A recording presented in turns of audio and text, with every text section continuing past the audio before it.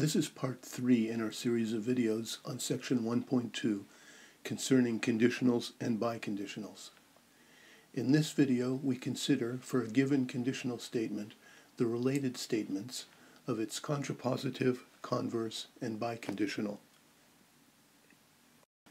So if P implies Q is a given statement, then the contrapositive of P implies Q is the statement not Q implies not P, and the converse of P implies Q is Q implies P. The important thing to understand is what is the logical connection between these three statements. Okay, here's an example for you to practice on. Consider the statement, if x is a natural number, then x is an integer. So write down the contrapositive and the converse of this statement, and then for the resulting three statements, tell me which ones you believe are true. Oh, and by the way, our textbook defines the set of natural numbers uh, to be the numbers uh, 1, 2, 3, 4, 5, etc. It doesn't include 0 as a natural number. And the integers are the uh, positive and negative counting numbers 0, 1, minus 1, 2, minus 2, etc. Okay, now put the video on pause, write down your answers, and then we'll compare uh, our answers.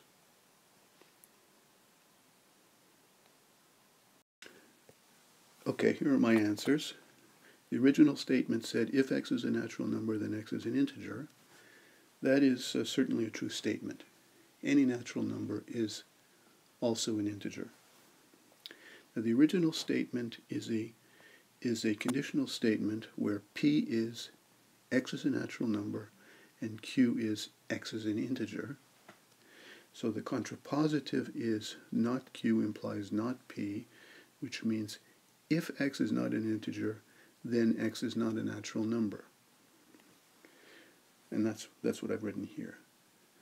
That's a true statement because if it's an object that isn't an integer, then it certainly couldn't possibly be a natural number. Converse of the statement is q implies p, which says if x is an integer, then x is a natural number. So the implication is no matter which integer you pick, it must necessarily be a natural number. And that's certainly not true because um, some integers are not natural numbers. For example, minus 1 is not a natural number.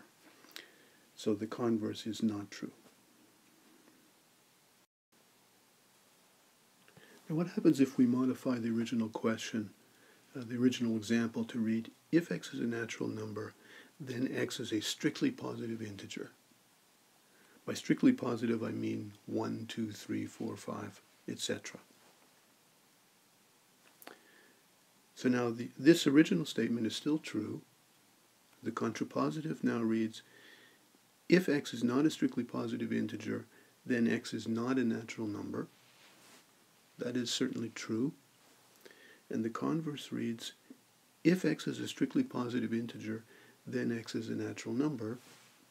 That is also true. So in this case, all three of the statements are true. So these two examples illustrate a very important fact, uh, which says that if you start with any conditional statement, the contrapositive of that statement has exactly the same truth value as the original statement, and in general, the converse may or may not have the same truth value as the original statement. So that brings us to this theorem which says that if you have a conditional statement, then it's logically equivalent to its contrapositive. And the conditional statement has no logical connection with its converse at all.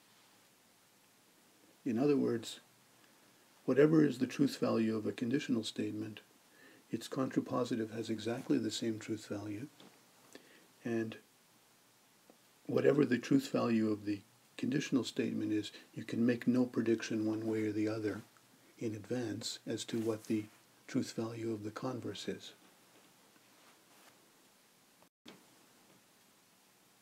Well, it's a good exercise for you to try to prove the theorem. And the way you do it is to just simply write down the truth table for the given conditional statement, then write down the truth table for the contrapositive, and write down the truth table for the converse. If they turn out to be identical, then they're logically equivalent, and if they turn out to be different, then they're not logically equivalent. So that's a good exercise for you, and I'll, I'll leave it for you to do. Finally, we discuss what is meant by a biconditional statement, and it's denoted in this way. And we read it as P if and only if Q. That's how you would say it in words. P if and only if Q. Its definition is P implies Q and Q implies P. So what this is saying is that P if and only if Q is true precisely when P implies Q is true and Q implies P is true. In other words, the conditional statement and its converse are both true.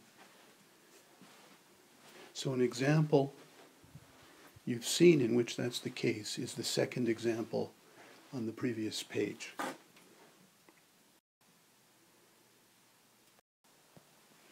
It's a good exercise for you to show that if you have a biconditional statement, P if and only if Q, Q then if that's a true statement, um, then P and Q necessarily have exactly the same truth values.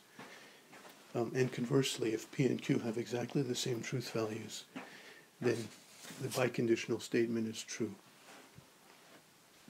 And the way you do that, it's quite simple. You just simply write down the truth table for P if and only if Q. In other words, you write down the truth table for this one, and on the same table you include this one, and then on the next column you take the conjunction of those two, so that will give you the truth table of P if and only if Q. And just check that the only places where that's true are the places where both P and Q are true and where P and Q are both false. If P is true and Q is false, then you'll discover that um, the truth table for this one um, is false. Okay, so I'll leave that for you as an exercise. I just wanted to make one final comment that in um, doing these exercises, you have to do them for generic P's and Q's. It's not enough for you to verify that they work for the specific examples that I did on this uh, video. Just because it works for a particular example doesn't mean that it's true in general.